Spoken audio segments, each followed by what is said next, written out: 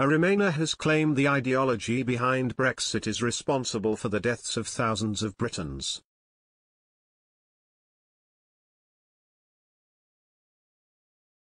Femi Oluwole, political activist, posted a video on Twitter where he claimed Boris Johnson has effectively admitted that Brexit ideology killed thousands of people during COVID.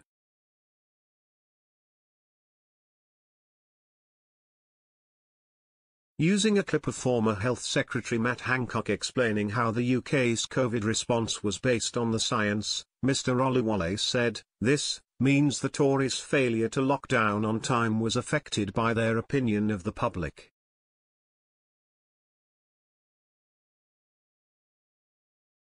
He then used a clip of Boris Johnson in 2020 saying COVID restrictions weren't brought in earlier as the UK is a freedom-loving country before showing clips of the Prime Minister during the Vote Leave campaign where he said to ignore the pessimists and the merchants of gloom.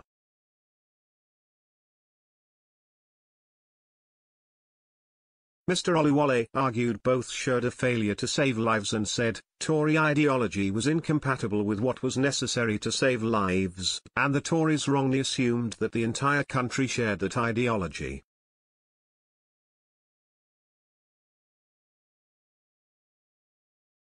And as a result we ended up with the worst excess death rate in all of Europe and 150,000 people dead.